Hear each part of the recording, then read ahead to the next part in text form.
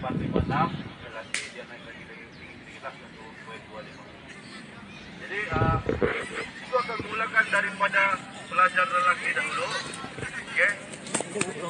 Tingkatan satu dahulu. Jadi kalau eh, uh, ikut sudah cakap ready, kita satu.